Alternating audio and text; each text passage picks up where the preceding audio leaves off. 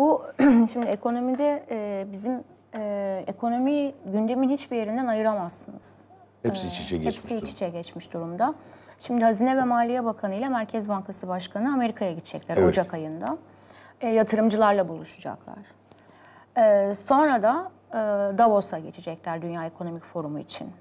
E, bizim ciddi bir yatırım arayışımız var. Yabancılarla görüşüyoruz. Yatırımcı e, Türkiye'nin Evet. orta vadeli programını anlatıyoruz.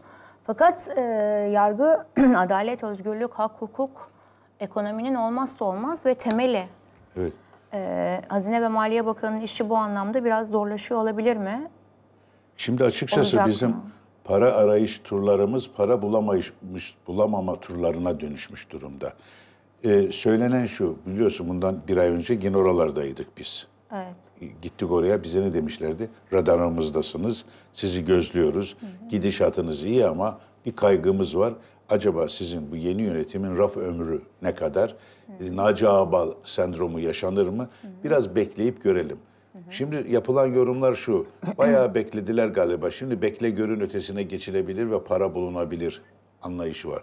Ama ben bunun açıkçası yurt dışındaki insanları böyle şeyle değerlendirmek yerine, e, şekilsel değerlendirmek yerine seçime çok az bir süre kaldığı süre, e, yapıda bekle görün devam edeceğini düşünüyorum.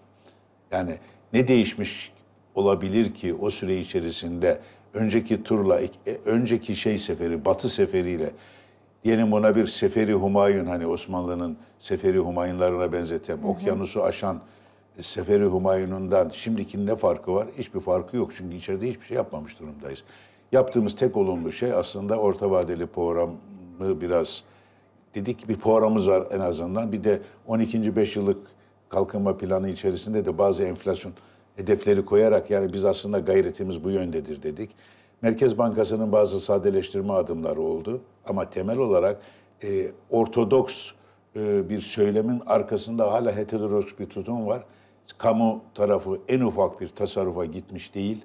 Aynı şekilde enflasyonun e, kalıcı bir çözüm getirme e, için sözden başka bir adım atmış değiliz. Onu da seçimden sonraya attık deyince yabancı da diyor ki iyi de ben de seçimden sonrasını bekleyeyim.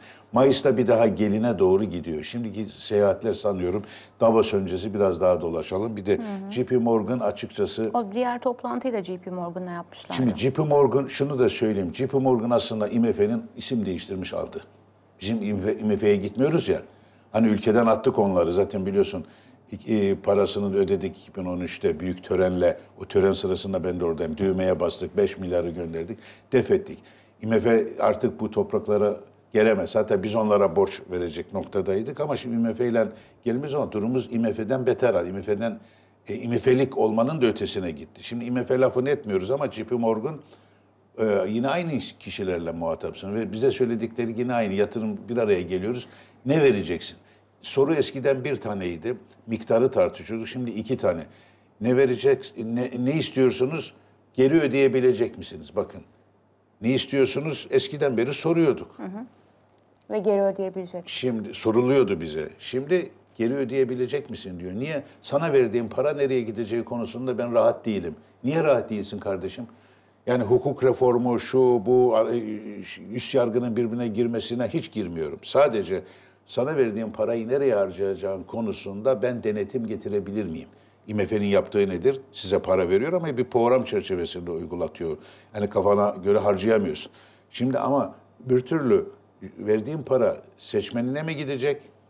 Gösteriş yatırımlarına mı gidecek? Hani yandaşa mı gidecek, candaşa mı gidecek? Hangi alanlarda bunlar harcanacak? Yoksa hakikaten ödemeler dengesini bir yere sokmak, e, bazı reformlar için, altyapı oluşturmak için mi bu parayı istiyorsun?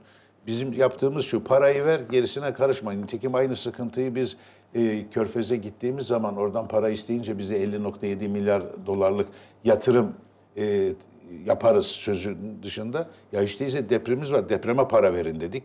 Depreme 8,5 milyar dolarlık sukuk yani İslami bono konusunda. Bu onunla mı ilgili? Hayır onunla ilgili Onunla de ilgili. oradan bir yere getireceğim onu. Orada da bize söylediler peki bu paranın depremde harcayıp harcanması konusunda nasıl emin olacağız? İngilizler devreye girdi. Ya diyor bizim sizin eski bakanla 5 sene öncesinden bir hesabımız var. Orada bizi e, swap üzerinden yüzde 1400'e faizleri çıkarak ters köşe yapmıştı. Ya siz vereceğiniz sukukun kontrolünü siz kendiniz alın. Biz de bunu gelip Onlar da bize söyleyince Hmm. olmaz böyle şey. Parayı bize ver deyince ya biz buna şimdi bakalım onu da dondurdular. Hmm. Şimdi batıya gidiyorsun para istemeye. Açıkçası alacağın parayı nereye harcayacağın harcayacağını konusundan konusunda emin olmak istiyor. istiyorlar. Geri Şerif Hocam burada bana bir virgül